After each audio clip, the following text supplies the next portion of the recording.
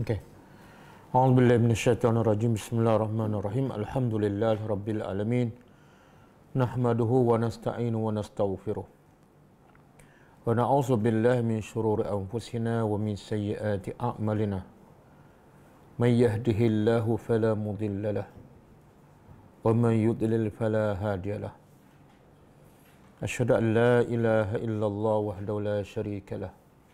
وأشهد أن محمدا عبده ورسوله سبحانك لا علم لنا إلا ما علمتنا إنك أنت العليم الحكيم اللهم علمنا ما ينفعنا وانفعنا بما علمتنا وزدنا علما اللهم أتي أنفسنا تقواها وزكها أنت خير من زكاها أنت وليها ومولاها ربي يسر ولا تعسر ربي تمم بالخير Amma ba'du. Insya-Allah kita sambung pengajian Sirah Nabawiyah yang rasanya kita dah bila last ah?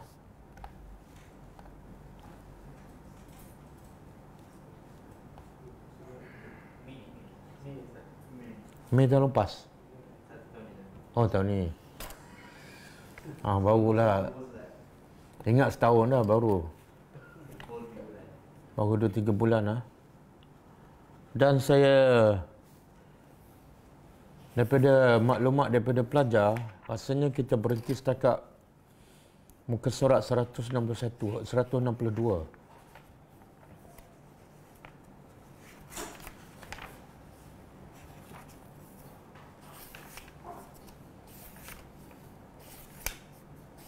162 siapa yang ada buku boleh buka muka surat 162 Ha, sebelum tu tajuk dia gangguan orang musyrikin terhadap dakwah Rasulullah sallallahu alaihi wasallam.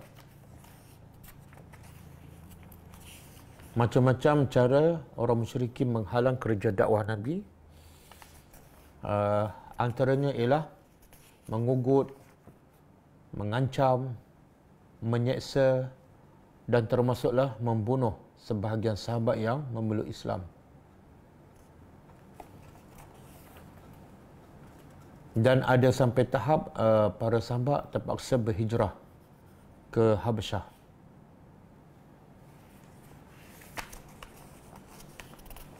Tetapi semakin Islam ditekan, semakin Islam ditekan di peringkat awal, apa yang berlaku? Islam semakin kuat. Uh, bukan makna kuat tu bilangan uh, bertambah semakin banyak. Bilangan tak bertambah banyak, lebih kurang sepanjang 13 tahun Nabi berdakwah di Mekah hanya lebih kurang 200 orang sahaja. Tetapi kekuatan itu bukan terletak pada kuantiti. Kekuatan itu, kekuatan Nabi dan para sahabat terletak kepada kualiti. Ha, itulah perancangan Allah. Allah nak walaupun bilangan itu kecil, lebih kurang 200 orang, tetapi yang 200 orang ni boleh bertahan. Walaupun ditekan, ditangkap, diseksa dan ada sebahagian sahabat yang lain dah dibunuh, mereka tetap bertahan. Jadi apa rahsia para sahabat di peringkat awal dakwah di Mekah?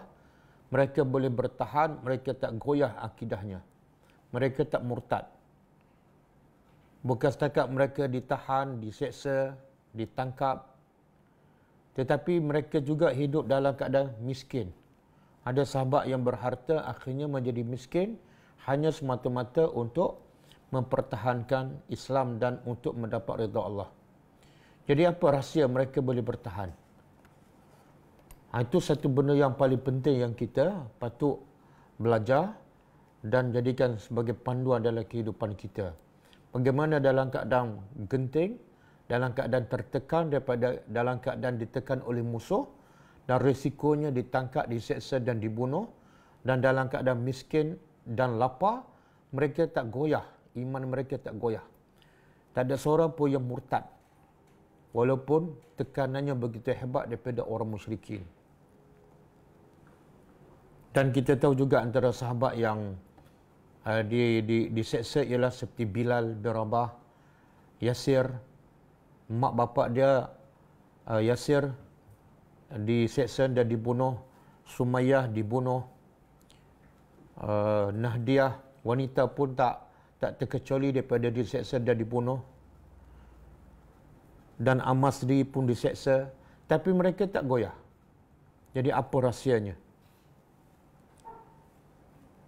Saya nak sebut orang sebelum kita masuk uh, kita sambung pengajar sirah kita berdasarkan buku Sirah Nabawiyah As-Sahihah karangan Dr. Muhammad Akram Abdiya Al-Umari.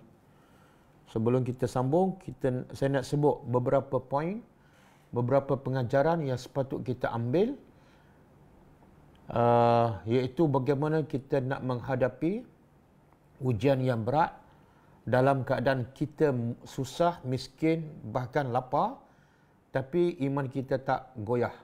Ibadat kita tak terkesan. Bahkan kita semakin diuji, semakin mantap.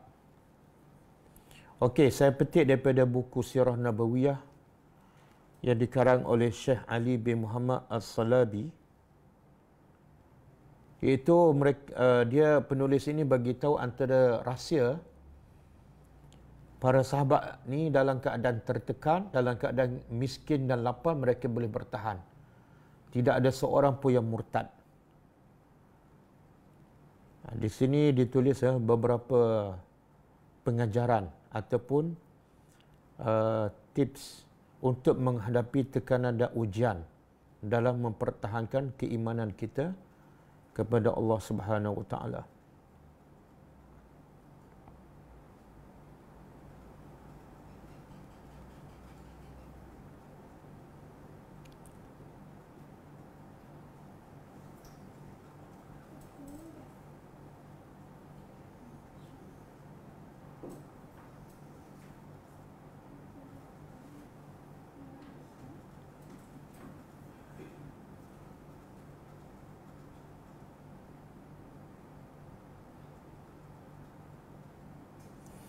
Okey ha. Pertama dan yang paling utamalah iaitu mereka boleh bertahan dan iman mereka tak goyah ialah kesan al-Quran yang sentiasa memimpin, memandu, memberi peringatan kepada mereka tentang tentang apa? Tentang pertama ganjaran kalau mereka beriman dan mereka pertahankan agama mereka walaupun mereka dibunuh. Apa yang mereka dapat di syurga di akhirat besok? Mereka akan dapat ganjaran pahala, dapat syurga, dapat redha Allah. Ayat itu jadi motivasi yang paling besar kepada para sahabat. Jadi bila mereka yakin kepada hari akhirat, mereka yakin pada ganjaran dan janji Allah Subhanahu Wa Taala, seksaan, tekanan, kelaparan bagi mereka adalah terlalu kecil. Sebab yang mereka nampak yang mereka bayangkan jauh lebih besar daripada nikmat yang mereka sepatut dapat di dunia. Itu penting tu. Jadi antara sebab kita malah nak beribadat, malah nak buat kerja dakwah, sebab dalam kepala kita, kita tak yakin pada janji Allah. Dan kita nak berehat. Sebenarnya yang kita rehat kat dunia tu tidak ada rehat selama-lamanya. Kadang-kadang kita pagi rehat, petang penat. Kadang-kadang kita sehat pagi, petang, malam sakit.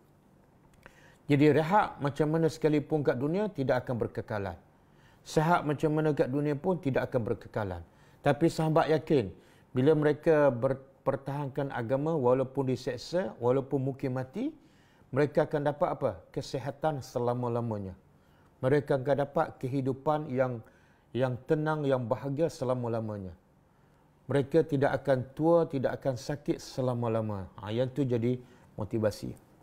Kemudian ha, yang kedua, sebab kedua ialah Quran selalu Allah melalui Al-Quran selalu mendorong, selalu uh, memerintah kepada Nabi supaya sentiasa duduk rai dan sabar bersama uh, orang-orang beriman yang di peringkat awal di Mekah ni. Dalam keadaan mereka tertekan, dalam keadaan mereka lapar, dalam keadaan mereka miskin, Allah perintah Nabi, duduk bersama mereka, jangan sekali-kali tinggal mereka. Jadi bila orang yang hebat, orang yang mulia sentiasa ada bersama mereka, sentiasa mendampingi mereka, itu juga memberi kekuatan kepada para sahabat. Jadi pengajaran untuk kita, bila kita didik orang, kita jangan tinggalkan mereka. Jangan tinggalkan mereka. Sentiasalah bersama mereka, susahnya, senangnya, sentiasa bersama. Jangan kita nak didik dia, lepas tu kita tinggal. Apa berlaku pada mereka, mereka ada masalah kan, kita tak, tak ambil tahu. Itu menyebabkan iman mereka akan goyah.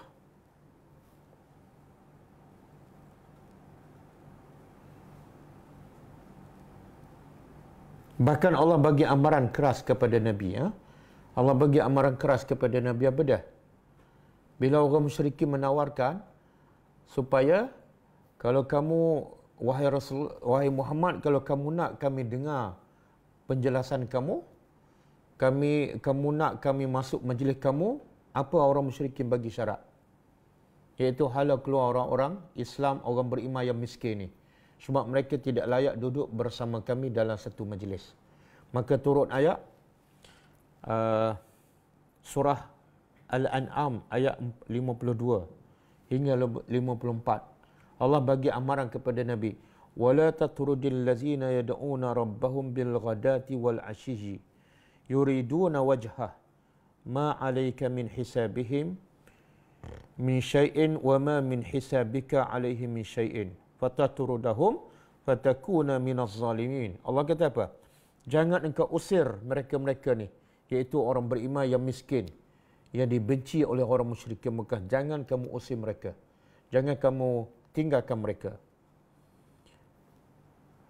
Yang yang mana orang miskin ini mereka beriman kepada Allah, mereka berdoa dan beribadat kepada Allah pagi dan petang. Hanya semata-mata inginkan redha Allah. Dan kamu tak akan ditanya tentang dosa mereka dan dosa mereka pun uh, mereka pun tak akan ditanya tentang dosa kamu. Maka jangan kamu usir mereka. Kalau kamu usir mereka kamu akan menjadi orang yang zalim. Allah bagi amaran pada Nabi kalau kamu dengar cakap orang musyrikin iaitu halau orang uh, orang Islam yang miskin ni jangan duduk bersama kamu kalau kamu dengar Allah kata fatakuna minaz zalimin kamu sendiri akan menjadi orang yang zalim.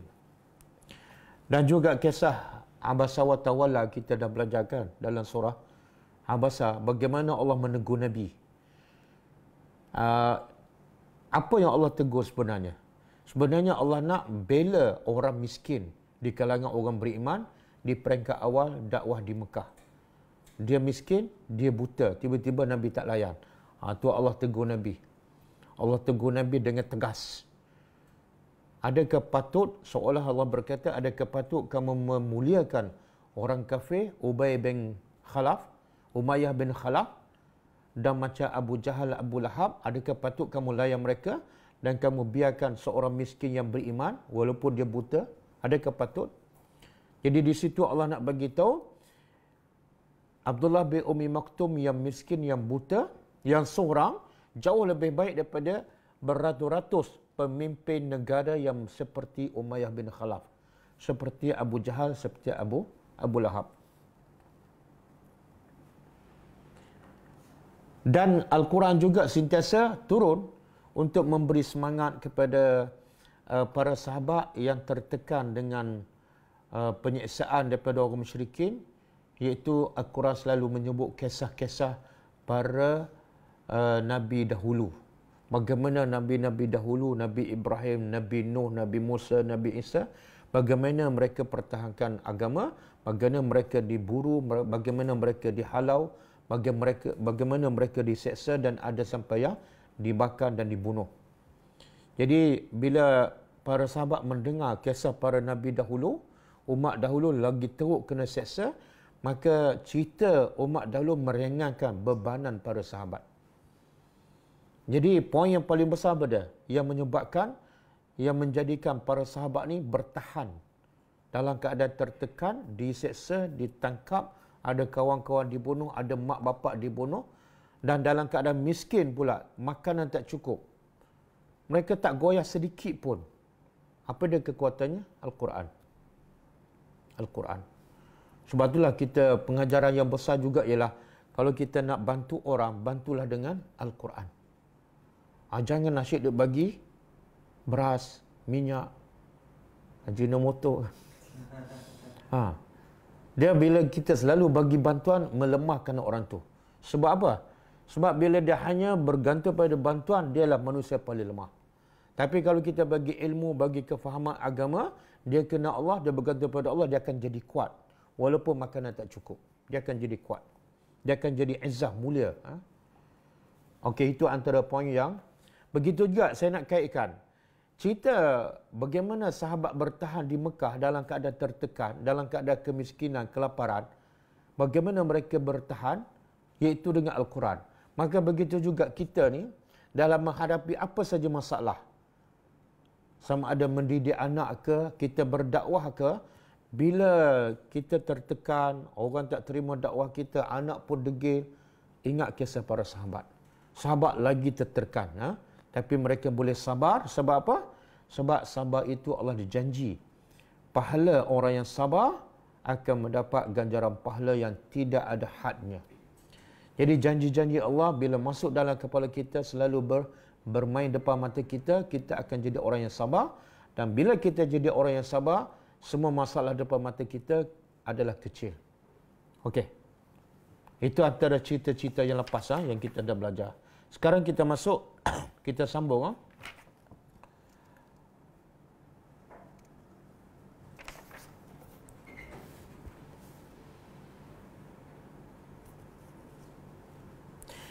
Saya tak tahu kita uh, kita berhenti muka surat 162 ke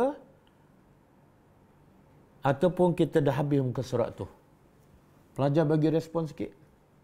Sebab muka surat 62 tu tajuk sebelum tu habis muka surat 162 masuk tajuk baru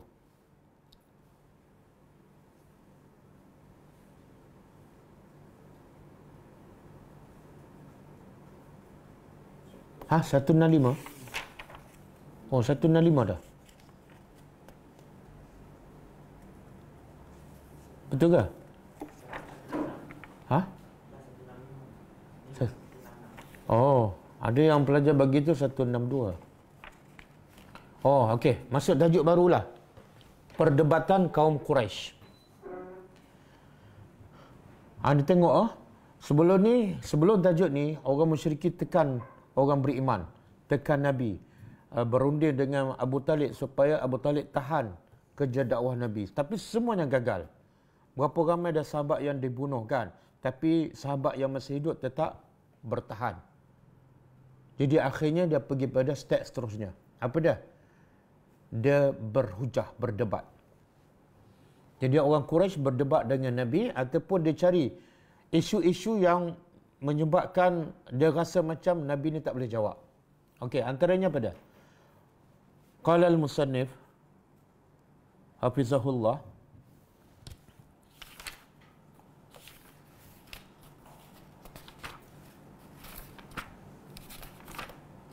Mujadalatu Quraisy dalam bahasa Arab. Uh, kaum Quraisy telah menempuh jalan perdebatan. Dia kita kena faham berdebat ni boleh ke tak boleh dalam Islam?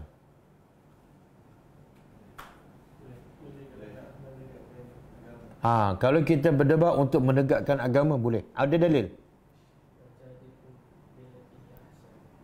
Ambil daripada awal sikit ayat tu ha. Ud'u ila sabili rabbika bil hikmati wal mau'izatil hasanah wajadilhum ha, wajadil tu berdebatlah berdebatlah dengan mereka tapi dengan cara yang terbaik. Berdebat apa dia? Untuk pertahankan kebenaran. Tapi kalau berdebat untuk pertahankan kebatilan hukumnya haram. Hukumnya haram. Dan uh, kalau kita pertahankan kebenaran boleh berdebat. Tapi kalau dengan berdebat itu menyebabkan berlakunya perbelahan maka lebih baik tinggal. Sebab ada satu hadis kan Nabi kata ana zaimu bi baitin fi rabadil jannah. Aku akan menjadi penghulu kepada satu uh, istana di syurga bahagian tepi. Untuk siapa ni? Untuk orang yang meninggalkan perdebatan walaupun dia berada di pihak yang benar. Sebab apa dia tinggal? Sebab bila berpanjangan akan bergaduh. Ha? Jadi kadang-kadang meninggalkan perdebatan bukan pengecut. Tapi adalah nak mengelak daripada masalah yang lebih besar. Okey. Rasulullah uh, kaum Quraisy telah menempuh jalan perdebatan untuk mematahkan hujah yang dibawa oleh Rasulullah SAW. Rasulullah SAW telah berkata kepada mereka. Jadi orang musyrikin pun nak berdebat juga dengan Nabi. Mereka pun nak berhujah. Jadi orang Islam ni bila nak nak nak bercakap apa-apa masalah pun bagilah hujah kan. Orang musyrikin pun ada hujah walaupun hujah dia tak betul. Jadi kata orang musyrikin pada Rasulullah, wahai kaum uh, Rasulullah berkata kepada orang musyrikin, wahai kaum Quraisy, sungguh tidak ada kebaikan pada seseorang yang menyembah selain daripada Allah. Tak ada kebaikan sesiapa yang menyembah selain daripada Allah. Kaum Quraisy telah mengetahui bahawa orang-orang Nasrani menyembah Isa bin Maryam alaihi salam dan Muhammad tidak mengatakannya. Lalu mereka kaum Quraisy menjawab, "Wahai Muhammad, tidakkah kamu menganggap bahawa Isa adalah seorang nabi dan hamba Allah yang saleh? Apabila kamu benar, maka sesungguhnya Tuhan mereka sebagaimana yang kalian katakan." Boleh faham? Tak faham. Tahu sebab apa tak faham? Ha, sebab saya baca bahasa Indon. Ha? kepada orang Melayu. Okey, sekarang saya baca bahasa Arab, saya rasa lebih faham kot. Ha?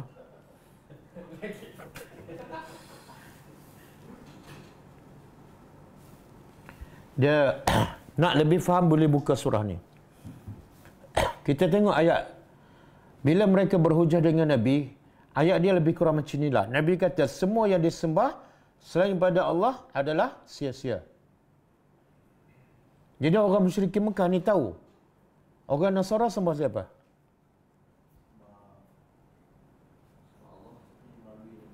Ah, sembah Nabi Isa lah. Sebab bagi mereka Nabi Isa itu adalah Tuhan.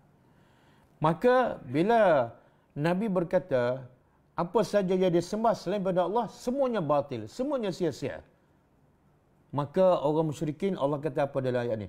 Walamma duriba ibnu Maryam masalan idza qaumuka minhu yasiddu yasiddun surah zukhruf ayat 57 maksudnya dan tatkala Nabi Isa AS dijadikan perumpamaan tiba-tiba kaum kamu iaitu orang musyrikin bersorak gembira kenapa mereka gembira sebab mereka bila Nabi kata apa yang disembah selain pada Allah semuanya batil maka mereka dalam kepala mereka apa dah Nabi Isa pun batil jadi Nabi Isa orang musyrikin kata kata pada Nabi Muhammad, kan kamu kata Nabi Isa tu hamba Allah, orang yang soleh kan? Tapi dia juga disembah. Kami sembah apa? Berhala. Jadi berhala dengan Nabi Isa yang kamu kata soleh tu sama tara. Faham tak? Ha, ada guna hujah tu. Okey lah tu, walaupun kami semua berhala, sama dengan Nabi Isa je. Boleh faham? Ha, sebab tu Allah kata apa ni? Walamma duriba ibnu Maryam masalan iza qaumuka minhu yasiddun. Bila disebut contoh Nabi Isa, maka kaum kamu orang musyrikin melompat gembira. Sebab apa? Bagi mereka, mereka menang. Ha, Okeylah tu berhala dengan Nabi Isa. Kamu kata Nabi Isa soleh. Maka berhala kami pun sama-sama selain daripada Allah. Kira okeylah, samalah. Same-same. Ha? Hmm? Ha? Dan ada satu lagi ayat ha, surah Zukhruf juga. Allah kata apa? Innama tad'una min dunillahi Innakum wa ma ta'buduna surah Al-Anbiya ayat 98. Innakum wa ma ta'buduna min dunillahi hasabu jahannam. Allah kata apa? Sesungguhnya kamu dan apa yang kamu sembah selain daripada Allah adalah akan menjadi hasabu jahannam, bahan bakar dalam neraka.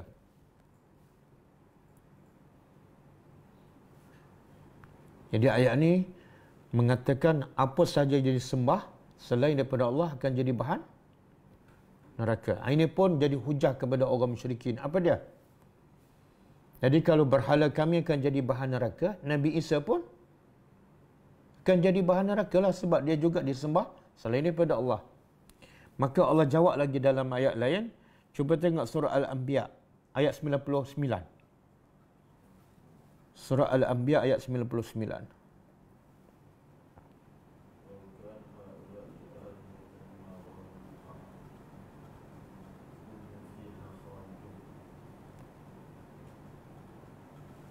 Ah, sorry, ayat 101. Al-Anbiya ayat 101.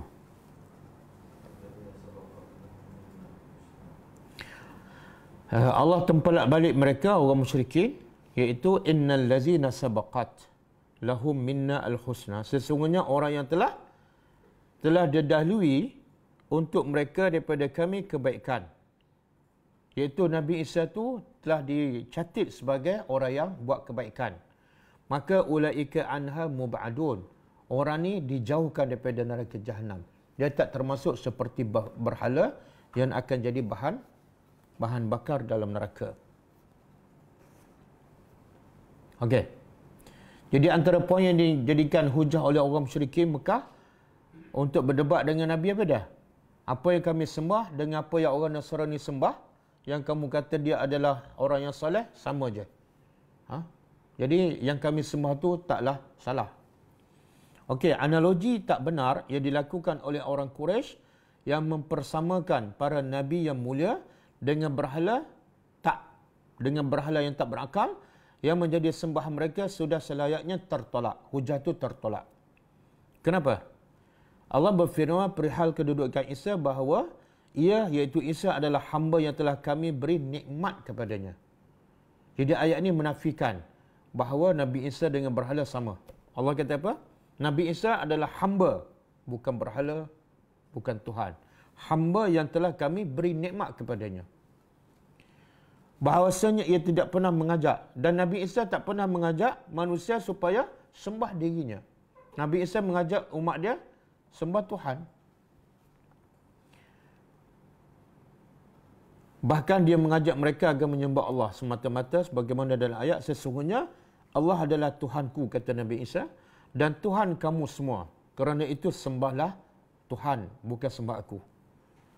Al-Quran juga menyatakan bahawa Quraisy uh, Al-Quran juga menyata, menyatakan bantahan Quraisy. Ini poin yang kedua lah yang mereka berdebat dengan Nabi. Apa dia? Apa yang mereka lakukan padamu tidak lain melainkan perdebatan. Allah kata, hujah mereka bahawa Nabi Isa sama dengan berhala itu adalah hanya semata-mata perdebatan ataupun perbalahan. Dia nak cari gaduh je. Sebab tak masuk akal dia samakan Nabi Isa berakal yang mengajak orang sembah Allah dengan berhala yang disembah. Tidaklah tersembunyi lagi mereka, bagi mereka firman Allah yang artinya sesungguhnya kalian dan apa yang disembah selain pada Allah adalah tercampak ke dalam neraka. Jadi Allah kata kamu ni dan apa yang kamu sembah akan dicampak dalam neraka. Siapa kamu tu? Ha, kamu tu Allah tuju pada orang musyrikin Mekah. Bukan Allah tuju pada orang Nasrani. Okey, merupakan firman yang ditujukan kepada Quraisy yang menyembah berhala-berhala yang tidak berakal. Bukan firman yang ditujukan kepada Nasrani yang menyembah Isa AS. Maka sejak awal lagi tidaklah mengena bantahan mereka ini kerana tidaklah masuk akal jika mereka meng- mengklaim ataupun mengumumkan ayat tersebut mencakupi Nabi Isa AS. Okey. Itu poin pertama yang orang Quraisy guna sebagai hujah untuk uh, berdebat dengan Nabi. Yang kedua, poin kedua. Kata penulis buku ni, termasuklah perdebatan yang dilemparkan oleh kaum musyrikin adalah pertanyaan mereka tentang roh. Jadi orang Quraisy bertanya kepada Nabi tentang roh. Tapi dari mana soalan orang musyrikin Mekah dapat ni? Soalan tentang roh. Dari mana mereka dapat? Hmm? Daripada? Dia orang orang Quraisy. Dia nak pastikan Nabi Muhammad ni adalah nabi dia tak ada soalan. Sebab apa tak ada soalan? Sebab dia tak ada maklumat tentang kenabian. Kenapa tak ada maklumat? Sebab dia tak ada kitab. Jadi kalau dia nak pastikan ataupun nak kenal Muhammad ni betul-betul Nabi, dia kena cari kayu ukur tu kepada siapa? Orang yang ada kitab. Ha, jadi dia pergi ke Madinah sebab orang, orang Yahudi duduk di Madinah. Lalu mereka bertanya. Mereka bertanya kepada orang Yahudi di Madinah. uh, ini bahasa Indonesia lah, beri masukan kepada kami hingga kami bisa menanyakan kepada lelaki itu. Ha? Faham? Ha. Oh, entah sah Indonesia. ha, maksud dia, kata orang musyrik Mekah kepada orang Yahudi di Madinah, boleh tak bagi kami satu soalan untuk kami tanya kepada Muhammad. Soalan tu boleh mengesahkan Muhammad tu Nabi ataupun tak. Maka orang musyrik kata apa? Kamu tanya kepada Nabi tentang roh. Ha, dia pun balik Mekah tanya Muhammad. Apa itu roh? Nabi jawab ke tak? Nabi tak jawab. Kenapa Nabi tak jawab? Hmm? Nabi tak tahu. Jadi itu juga bukti bahawa Quran tu daripada Allah. Kalau Quran tu daripada Nabi, Nabi goreng je lah. Ya? Okey, lepas tu, uh, Nabi tak jawab, kemudian turun ayat Al-Quran, وَيَسْأَلُونَكَ أَنِ الرُّحُ min amri Rabbi, wa رَبِّي وَمَا min al-'ilmi illa qalila. Mereka bertanya engkau, iaitu orang musyrikin bertanya engkau tentang roh. Apa tujuan dia tanya tu? Ini antara hujah mereka nak pertikaikan ke Nabi Muhammad. Sebab orang Yahudi dah beritahu, kalau kamu tanya roh kepada Muhammad, dia tak boleh jawab, dia bukan Nabi. Kalau boleh jawab, dia Nabi. Dan Nabi tak boleh jawablah. Sebab roh adalah benda yang gaib. Kemudian turun ayat Allah bagi tahu mereka bertanya engkau tentang roh, jawab, apa dia? Roh adalah urusan Tuhanku. Aku tak boleh jawab.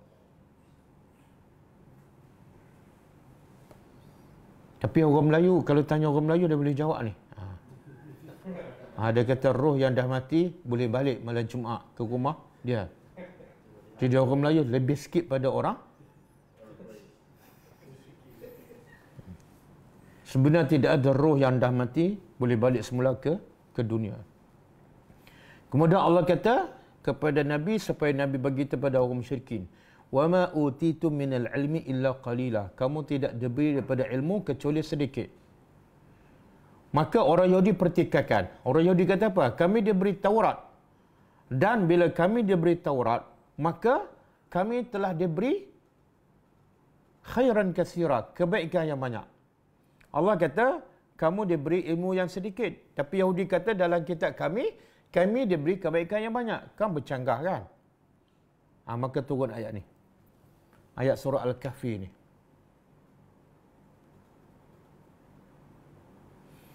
Kullau kana al-bahru midadan li kalimati rabbi lanafida al-bahru qabla an tanfada kalimatu rabbi walau ji'na bimislihi madada. Apa maksud dia? Katalah wahai Muhammad, jikalau laut itu adalah midad. Apa makna midad? Dakwat. Dakwat apa dia? Li kalimati Rabbi untuk menulis ilmu-ilmu Allah. Apa akan berlaku? Uh, kita tahu kan uh, dunia ni dua per tiga adalah dipenuhi dengan laut. Jadi Allah kata kalau semua laut tu dijadikan dakwah untuk menulis ilmu Allah. Apa akan berlaku? lanafidal bahru laut semua akan kering sebelum apa sebelum habis menulis ilmu Allah ilmu kita kalau kita beli dakwah satu botol kan untuk tulis ilmu kita agak-agak dakwah habis dulu ke ilmu kita habis dulu ha ilmu kita habis dulu kan ha. itu ilmu kita jadi apa maksud Allah nak beritahu? Yang Allah kata diberi kepada orang Yahudi, uh, orang Nasrani, ilmu yang banyak. Betul. Tapi bila dinisbah, dibanding pula dengan ilmu Allah, itu adalah sedikit. Boleh faham? Dan di sini juga ayat ini menunjukkan apa? Bila kita ada ilmu, jangan jangan sombong, jangan berbangga. Bahkan Allah pernah menegur siapa? Seorang Nabi yang merasakan dia lebih tahu. Kan? Allah kata, ada lagi orang yang lebih rendah pada kamu, tapi lebih alim daripada kamu. Pergi belajar dengan dia. Siapa? Nabi Musa AS. Jadi jangan sombong. Ha? Okey, Al-Quran menceritakan bahawa kaum musyrikin menuduh Rasulullah menembak. Ah, ini poin yang ketiga. Hujah orang musyrikin untuk berdebat dengan Nabi. Hujah ketiga pada. Itu Quran menceritakan bahawa orang musyrikin Mekah menuduh Rasulullah mengambil ilmu daripada sumber yang bukan daripada orang Arab. Dia kata apa? Muhammad ni diajar oleh orang yang bukan Arab. Ha, sebab tu keluarnya satu Al-Quran. Allah sebut dalam surah An-Nahl ayat 103. A'udzubillahi minasyaitonirrajim. Walaqad na'lamu annahum yaquluna innama yu'allimuhu bashar. Saya rasa baris itu salah tu. Baris dalam buku terjemahan salah. Kan? Cuba cek tengok surah An-Nahl ayat 103.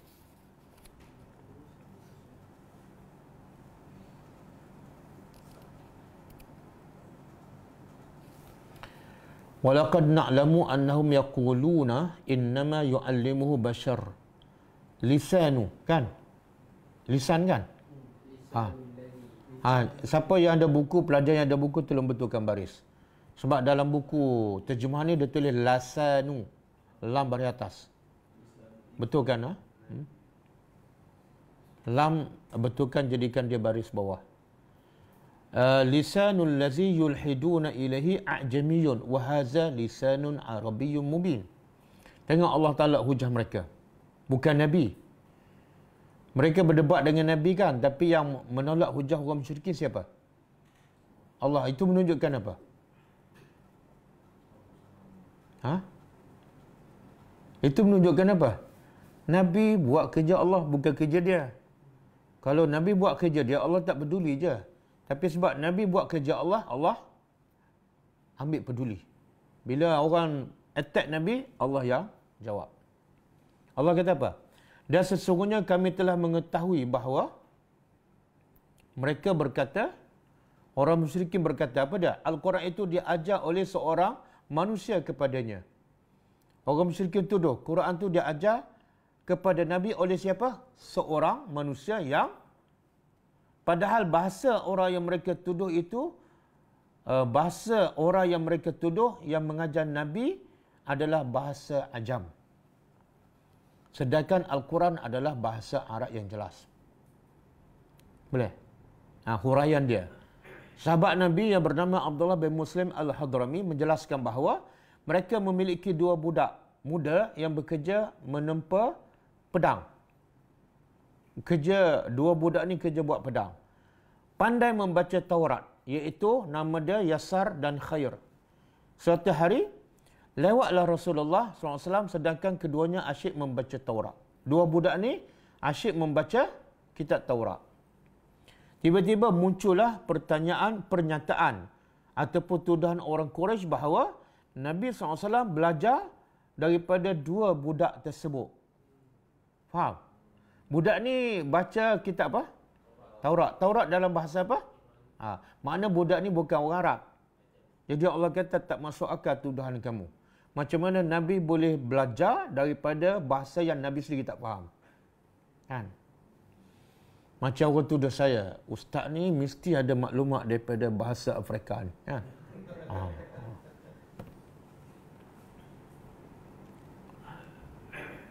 Kedua-duanya kata penulis membaca Taurat dalam bahasa mereka padahal keduanya adalah penduduk asal Najran. Mana orang Nasrani bukan orang Arab. Padahal ada riwayat lain menyatakan kedua-duanya berasal daripada Ainu Tamr.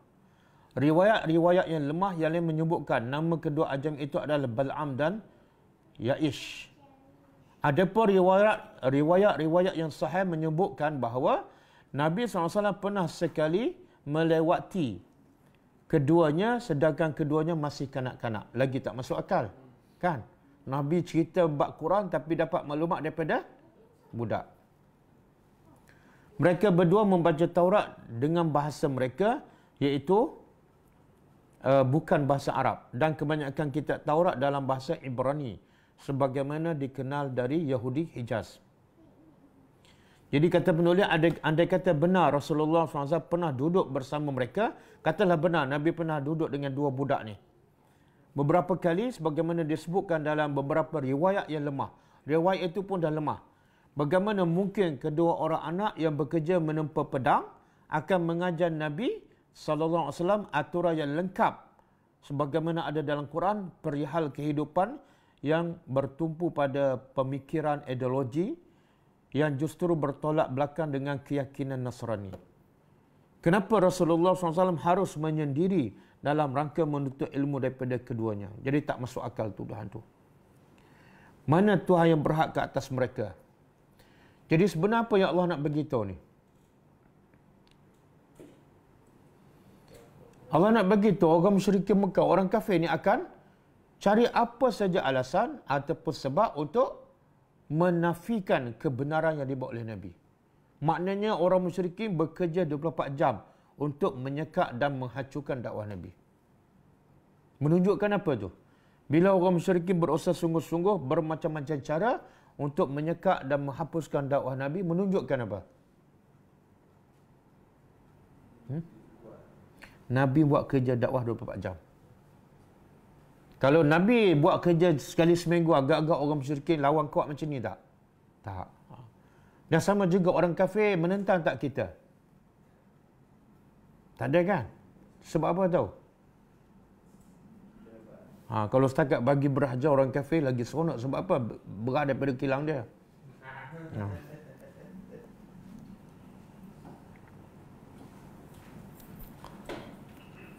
Okey. Uh, saya saya baca saya ambil poin-poin dia.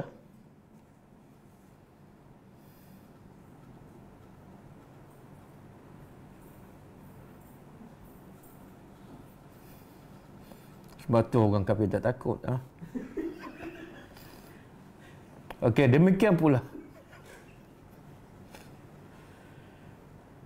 Okey, poin yang seterusnya. Demikian pula orang musyrikin berdebat dengan Nabi perihal turunnya Al-Quran secara beransur-ansur. Tengok poin dia. Sebab dalam kepala mereka, kitab-kitab sebelum ini turun sekaligus. Jadi dia nak attack juga. Ha, Quran turun tak sama. Beransur-ansur. Sebab tu kami tak nak beriman. Alasan.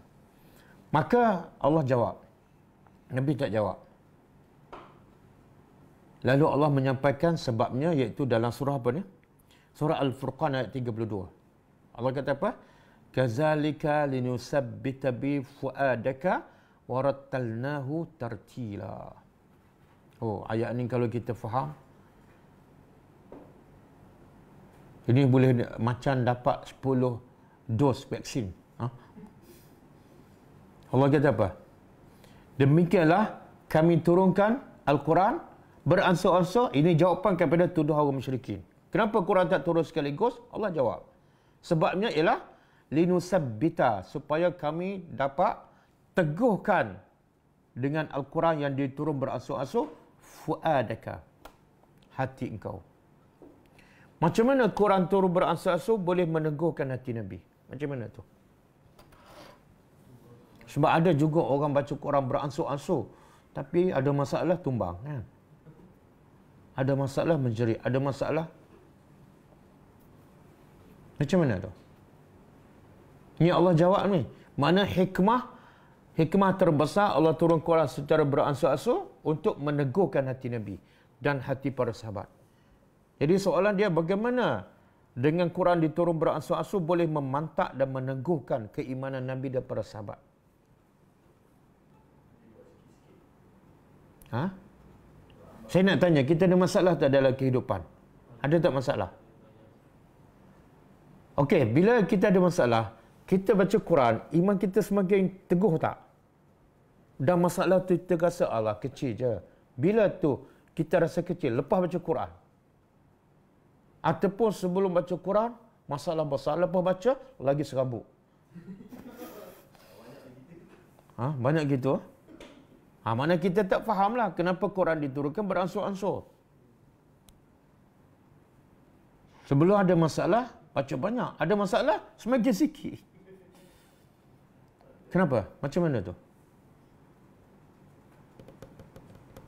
Hmm? Yalah, macam mana? How? How?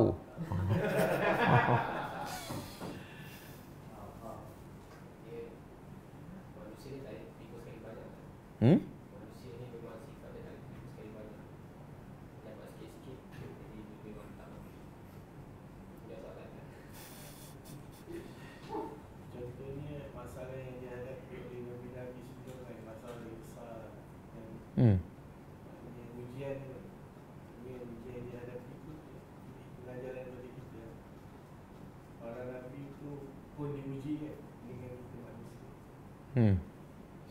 Dia okey. Jawapan dia tak salah. Dia Quran, kita tahu tak Quran turun diturunkan berdasarkan apa? Berdasarkan peristiwa. Berdasarkan persoalan yang ditanya. Jadi bila ada masalah aja, Nabi tengah stres kan. Tiba-tiba turun ayat. Oh, lega. Jadi hati Nabi, iman Nabi semakin mantap tak dengan jawapan ketika itu? Besok ada masalah lain pula. Turun ayat lain pula.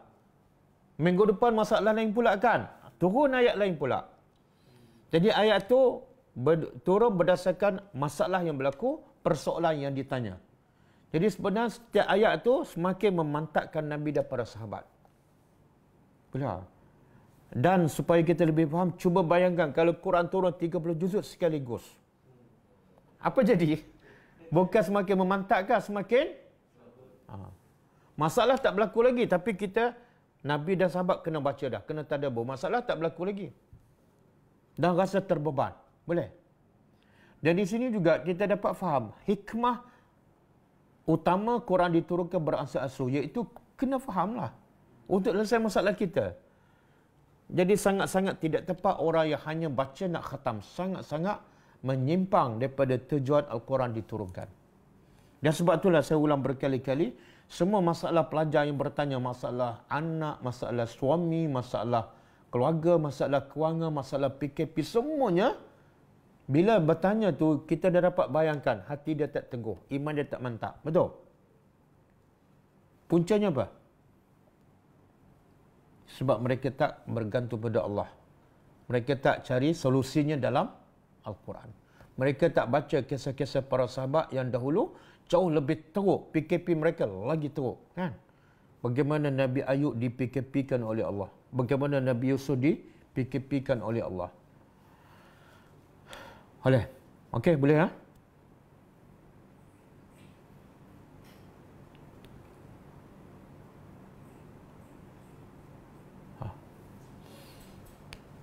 Wartalnahu tartila dan kami bacakan al-Quran secara tertil.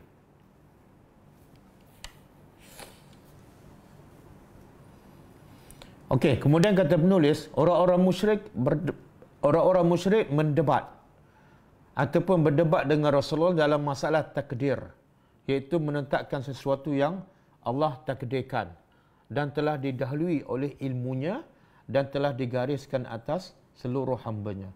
Dan segala hal yang terjadi merupakan hal yang telah ditakdirkan. Telah diketahui oleh Allah dan dikehendakinya. Maka turunlah ayat ini. Ayat daripada surah Al-Qamar. Ayat 48 hingga 49. Allah kata apa? A'udzubillahiminasyaitanirrajim. Yawma yushabuna finnar ala wujuhihim zuku massa saqar. Inna kulla syai'in khalaqnahu biqadar. Maksudnya, ingatlah pada hari mereka diseret ke neraka atas muka mereka dikatakan kepada mereka rasalah api neraka sesungguhnya kami menciptakan sesuatu menurut peraturannya. Para pembesar dan bangsawan musyrik tidak mahu hadir untuk mendengar al-Quran kerana kehadiran ah, ini poin lain. Jadi sebenarnya ah, dalam ayat ini Allah nak menjawab apa ni? Allah tetapkan kejadian berdasarkan apa? Berdasarkan apa yang Allah telah cipta dan apa yang telah Allah tahu dan apa yang Allah telah bagi peluang kepada semua manusia. Maka Allah hukum, Allah azab berdasarkan apa yang dipilih oleh manusia. Okey, poin yang seterusnya kita ambil satu lagi. Para pembesar dan bangsawan musyrik tidak mahu hadir untuk mendengar Al-Quran. Alasannya apa? kerana kehadiran orang-orang miskin daripada kalangan muslimin seperti Abdullah bin Mas'ud, Bilal Al-Habsyi, ini ha, semua pokok miskin ni. Dan mereka meminta kepada Nabi SAW agar mengusir mereka. Maka maka turunlah ayat. Kita dah baca tadi kan? Ladzina yad'una rabbahum bil ghadati wal ashiyyi yuridu nawajha dan janganlah kamu mengusir orang-orang yang menyeru Tuhannya di pagi hari dan petang hari sedangkan mereka menghendaki keredaannya. Allah Subhanahu wa taala pernah menegur keras rasulnya tatkala menolak untuk melayani Abdullah bin Umi Maktum tatkala ia menanyakan satu hal kepada Nabi sedangkan beliau sallallahu alaihi wasallam berpaling melayani perbicaraan Ubay bin Khalaf maka turunlah ayat abasa wa tawalla an ja'ahu al-a'ma di sesungguhnya tak ada perbezaan dalam menyampaikan kebenaran kerana jabatan, kerana jawatan, kerana keturunan ataupun harta dan pangkat. Sesungguhnya hal itu dalam rangka meng, Ini bahasa Indonesia ni. Dalam mengontentikan. Ha? Apa dia?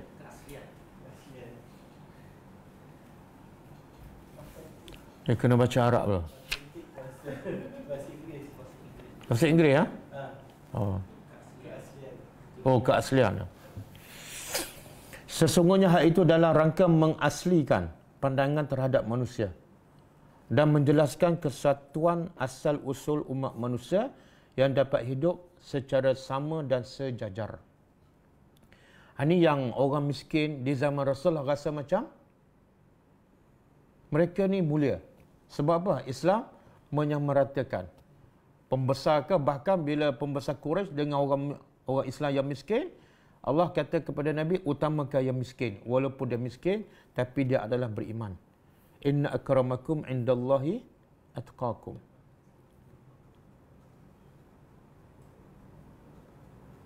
Kemudian kata penulis lagi dalam hal ini patut difahami konteks teguran keras Allah kepada Rasul akibat perhatian Nabi yang berlebih kepada Ubay bin Khalaf. Ketika kedatangan Abdullah bin Umi Maktum yang lemah tu. Ini ha, kebetulan kita baru terdebur kan daripada surah Ambasah. Padahal harga Abdullah bin Umi Maktum dalam wacana kebenaran jauh lebih tinggi daripada ratusan orang yang seumpama Ubay bin Khalaf.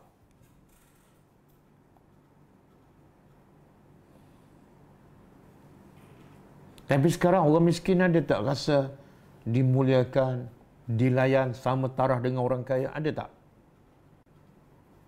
Ha? Ada? Tak ada. Kenapa tak ada? Sedangkan para sahabat yang miskin di mereka rasa mereka itu sama dengan Abu Bakar, sama dengan yang lain. Sehingga Umar berkata apa? Uh, Abu Bakar Sayyidana, A'taqa Sayyidana. Abu Bakar ketua kami dan dia memerdekakan ketua kami juga. Siapa? Bilal. Jadi bagi Umar Abu Bakar dengan Bilal sama walaupun dia tokoh sahabat, walaupun dia kaya, yang ni pula daripada asalnya hamba dan orang bukan Arab. Jadi benda-benda macam tu kita kena tanam kepada orang miskin supaya mereka tak rasa terpinggir ataupun hina dalam masyarakat. Okey, sebagaimana orang-orang musyrik juga menolak keras adanya hari kebangkitan. Ini antara poin yang mereka tak beriman, ha? iaitu mereka tidak beriman dengan hari kebangkitan. Kerana akan mereka tak sanggup menerima persepsi hari kebangkitan adalah uh, ada setelah kematian. Al-Quran kenapa mereka tak boleh terima?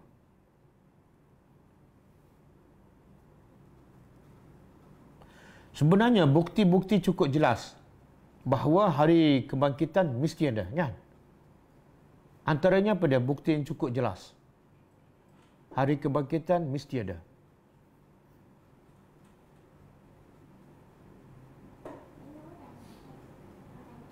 Apa dia?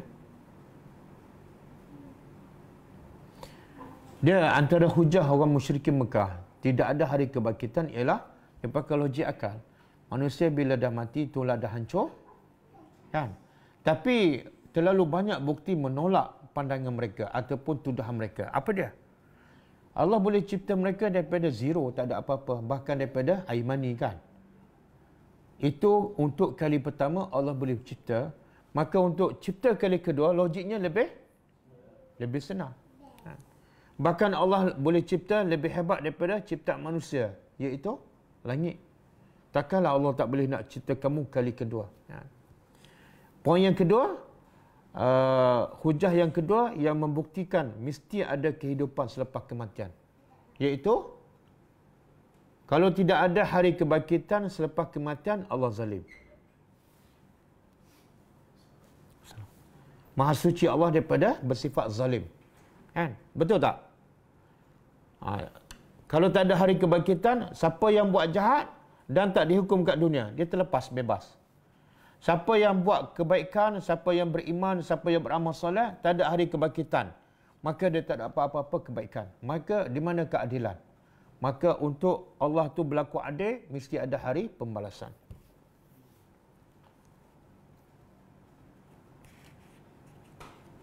Okey, kita berhenti setakat muka surat 170. Oh. 170.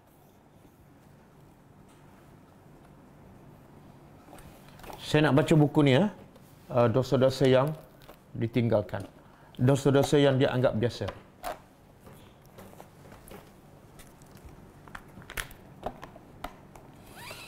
Tiga belas. Dosa yang ke tiga belas. Ha?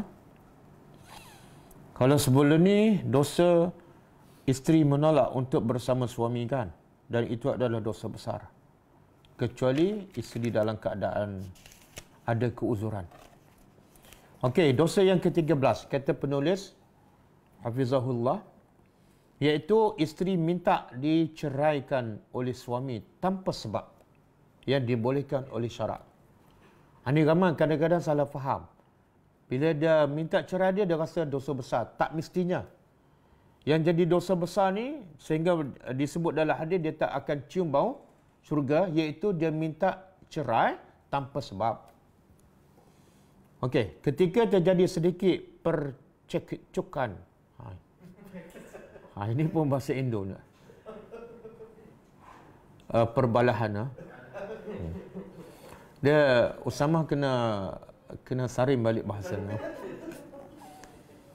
Ketika terjadi sedikit perbalahan dengan suami, banyak di antara para isteri yang langsung mengambil jalan pintas. Apa dah? Minta cerai. Bang, ceraikan saya. Bang, besok hantar rumah mak. Kan? Sebab itulah hikmah Allah tak letak kuasa cerai di tangan isteri. Kalau kuasa cerai di tangan isteri, pening Tok Qadi kan? Ha, Tok Qadi tak dapat rehat. Ada juga penceraian itu disebabkan sang suami yang tak mampu memberi nafkah seperti yang diinginkan oleh isteri. Padahal terkadang keputusan itu diambil hanya kerana pengaruh daripada sebahagian keluarga. Kadang-kadang isteri minta cerai sebab apa? Dipengaruhi oleh keluarga dia, mak bapak dia, adik-beradik dia. Ataupun jiran tetangga. Makcik-makcik bawang yang memang hendak merusakkan keluarga orang lain bahkan tak jarang yang me, yang menan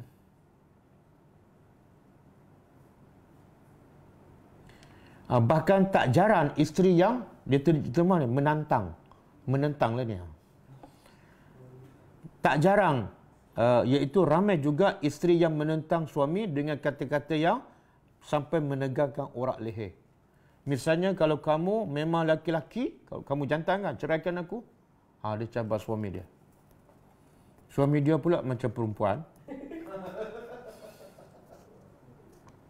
Semua mengetahui bahawa talak cerai melahirkan banyak keluarga yang besar. Di antaranya ialah putus hubungan keluarga. Keluarga isteri, keluarga suami tersah tak akan baik. Yang kedua, urusan mendidik anak habis. Kan? Kalau anak dapat hak penjagaan kepada isteri, apa masalah? Dia semua ada masalah kalau anak dapat dijaga oleh isteri, ada masalah. Kalau suami dapat hak penjaga pun, ada masalah. Uh, ada berlaku kepada sahabat Nabi, nama dia isteri Sabit bin Qais. Lah. Dia mengadu kepada Nabi, kalau anak duduk dengan aku, maka anak akan lapar. Kalau anak duduk dengan suami aku ataupun bekas suami aku, anak akan tidak akan jadi baik. Ha, tengok kefahaman uh, sahabat, isteri sahabat walaupun bukan belajar universiti. Tapi dia faham. Kalau duduk dengan dia, anak akan lapar. Apa maksud dia? Sebab tanggungjawab cari nafkah suami. Kalau duduk dengan dia, macam mana nak cari nafkah lagi nak didik? Tapi kalau anak duduk dengan suami, anak akan jadi liar, akan jadi nakal. Sebab apa? Sebab tak ada siapa yang nak mendidik anak. Makna tugas mendidik anak adalah isteri. Tugas mencari nafkah ialah suami. Tapi sekarang dua-dua tak buat kan? Ha?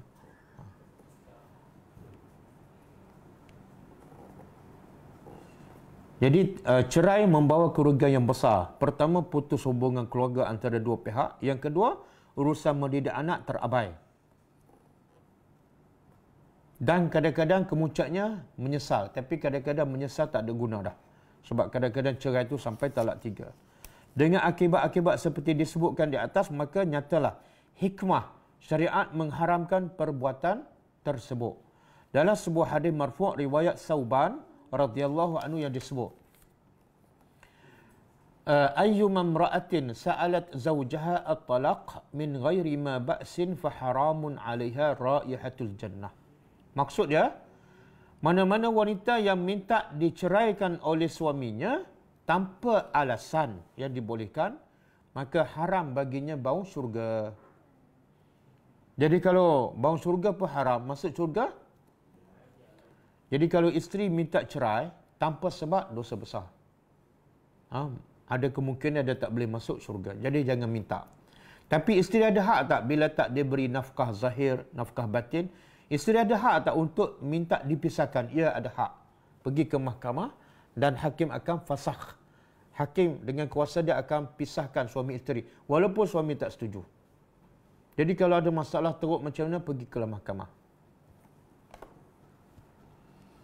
Hadis marfu' yang lain riwayat Uqbah bin Amir radhiyallahu anhu menyebut Innal mukhtali'ati wal muntazi'ati hunna al munafiqat.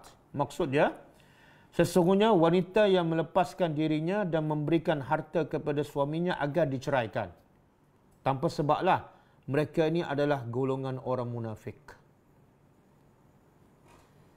Okey, kata penulis, adapun jika memang ada sebab-sebab yang dibolehkan menurut syarak seperti suami suka meninggalkan solat. Nah, suami tak solat. Suka minum minum arak ataupun ambil dadah. Ataupun dia paksa isteri dia buat benda haram. Dia lacukan isteri. Dan suka menyeksa, mendera isteri. Dan tidak memberi hak-hak isteri. Tidak lagi mau mendengar nasihat dan tak tak berguna lagi upaya tidak ada usaha, tidak ada guna lagi usaha untuk mengislah, membaiki maka ketika itu tidak mengapa isteri meminta cerai. Sebab ada sebab. Sehingga ia tetap dapat pemeliharaan diri dan agamanya. Kadang-kadang dia kata, kalau saya cerai, saya nak duduk kat mana? Kan? Siapa nak bagi makan pada saya? Tapi dalam masa yang sama, dia tak sanggup duduk dengan suami yang tak solat, suami yang tak bagi nafkah kan? Sebenarnya kalau Islam suruh cerai, kadang-kadang cerai ini adalah penyelesaian dia. Ha? Bila Allah kata apa? Wa may yattaqillah yaj'al lahu makhraja. Ayat tu ialah berkenaan dengan penceraian. Kalau kamu bercerai disebabkan bertakwa kepada Allah bukan kerana nafsu, Allah jamin. Allah bagi jalan keluar. Satu, yang kedua, Allah bagi rezeki yang tak disangka. Hmm? Wallahu a'lam. Berapa ramai yang bercerai dan akhirnya isteri itu yang uh, status dia janda menjadi lebih baik keadaannya ekonominya rumah tang- rumah anak-anaknya semakin baik. Tapi syarat dia mesti bercerai kerana bertakwa kepada Allah bukan kerana nafsu. Okey. Cukup ah dosa yang ke-14 zihar. Kita tengok ada soalan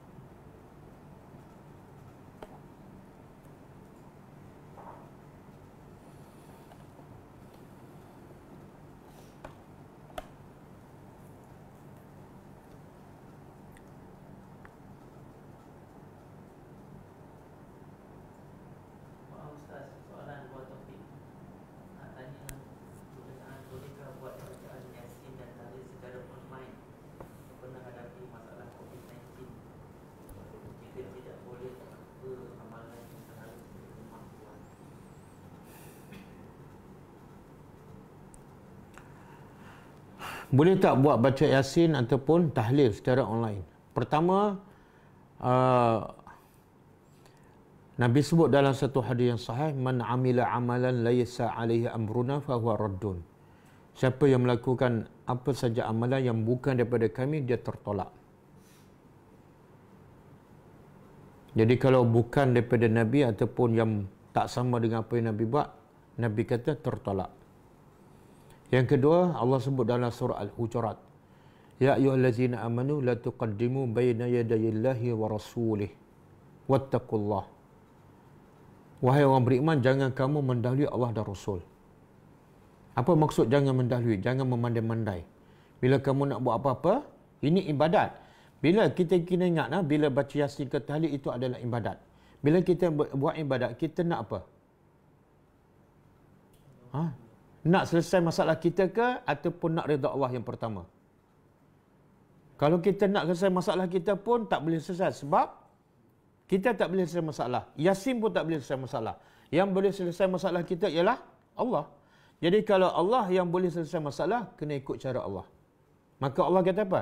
Jangan kamu dahului Allah dan Rasul. Ataupun dengan kata lain, jangan memandai-mandai.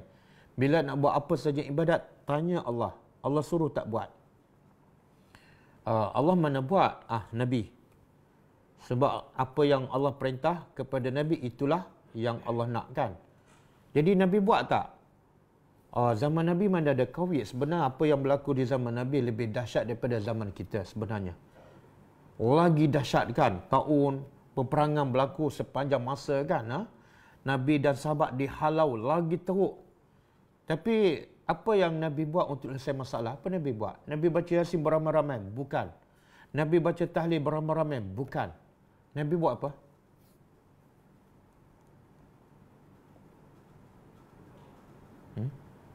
Nabi buat apa yang Allah suruh lah. Sebab tu Allah kata apa? Sekarang setelah kamu berdakwah 13 tahun di Mekah, dah tak uh, tak boleh bergerak lagi, tak boleh berkembang. Allah perintah apa? Pergi hijrah ke Madinah. Jadi proses hijrah ada masalah tak? Ada masalah. Sebab orang musyrikin akan memburu Nabi dan mereka sehingga mereka tawarkan siapa yang dapat tangkap Nabi Muhammad hidup-hidup akan diberi hadiah 100 ekor unta. Sebab bagi mereka kalau Nabi berhijrah ke Madinah, dan berjaya menegakkan negeri Islam di mana itu ancaman yang besar kepada kerajaan Mekah. Sebab itu mereka akan nak pastikan Nabi gagal berhijrah. Sebab itu dia bagi tawaran yang besar. Tapi apa Nabi buat untuk selamat daripada ancaman orang musyrikin itu? Sebenarnya ancaman orang musyrikin Mekah lebih besar, lebih dahsyat daripada ancaman PKP. Ancaman COVID-19. Kenapa? Sebab COVID-19 dia bukan nak menghancurkan agama kita. Kalau kena pun lebih kepada fizikal, sakit kan. Tapi ancaman orang musyrikin nak hancurkan apa? Nak hancurkan Islam, nak hancurkan iman Nabi dan para sahabat. Okey, Nabi buat apa? Nabi dengar je perintah Allah. Nabi keluar je lah. Nabi tak baca Yasin beramai-ramai. Nabi tak baca tahlil beramai-ramai. Sehingga Nabi terpaksa sembunyi dalam gua gosor berapa hari? Ha, tiga hari, tiga malam. Dan sehingga orang musyrikin betul-betul berada di depan pintu gua tempat Nabi. Sehingga Abu Bakar kata apa? Kalau orang musyrikin tunduk je, pasti mereka akan nampak kami. Bila mereka nampak kami, habis. Gagal hijrah, gagal Islam. Kan? Masa tu Nabi baca surah apa? Tak. Nabi baca surah apa? Nabi tahlil berapa kali? Tak ada. Abu Bakar risau kan? Apa Nabi cakap pada Abu Bakar? La tahzan innallah. Jangan kamu sedih. Kita sekarang duduk kat sini, kita buat kerana Allah. Bila kita buat kerana Allah, Allah bersama kita. Bila Allah bersama kita, musuh kat depan pun kacanglah. Sebab musuh tu makhluk Allah. Nampak tak keyakinan tu? Dan akhirnya hijrah Nabi selamat. Jadi kenapa kita tak ambil panduan daripada Nabi yang terbukti berjaya menghadapi segala rintangan, segala musibah yang jauh lebih besar yang kita hadapi. Kenapa tak ikut cara Nabi? Kita tak percaya pada Nabi ke? Apa yang Nabi buat bukan daripada nafsu Nabi. Semuanya adalah wahyu. Jadi apa nak buat? Pastikan kita ikut perintah Allah. Kadang-kadang berapa banyak anak-anak kita buat maksiat. Betul kan? Berapa banyak anggota masyarakat kita buat maksiat. Itulah punca musibah. Kita duk baca Yasin. Yang lain pula buat maksiat. Yang orang atas pula langgar SOP kan. Kita duk baca Yasin. Ha? Wallahu alam.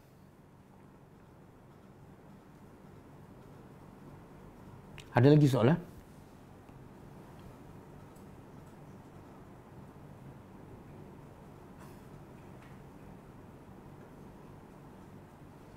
Eh, Siti Zaleha, bekah isteri lagi lawa lepas bercerai. Ini bahaya ni.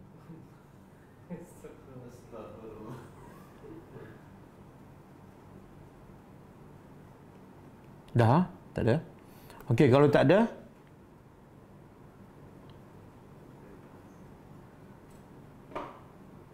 Oh, soalan ni.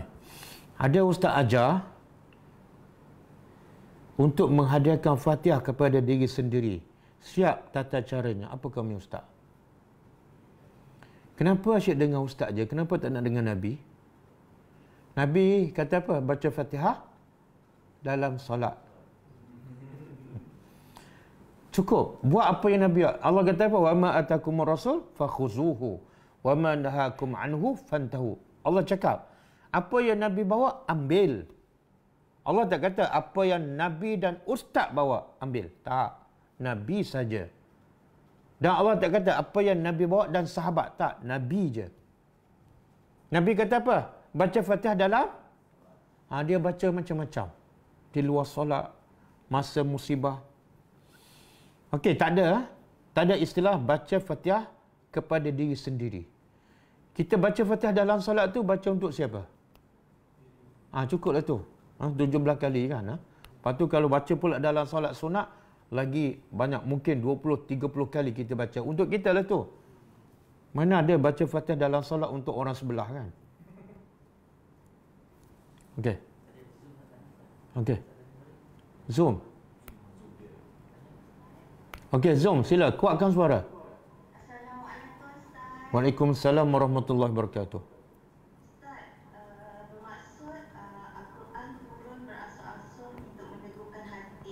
Hmm. Kita uh, kena memahami Al-Quran itu secara keseluruhan lah Ustaz. Ya. Yeah. Akan satu surah. Macam untuk anak, surah. Macam itu? Ah ya, yeah, lebih kurang. Tapi jangan buat macam garpu tala tu.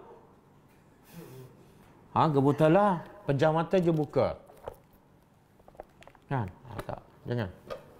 Dia yang terbaiknya ialah start daripada surah Fatihah, surah Baqarah sambung je, tadabbur. Jangan tebuk-tebuk lah. Kalau kita tebuk-tebuk tu, bila nak habis? Okey. Wa anti fajazakillahu khairan.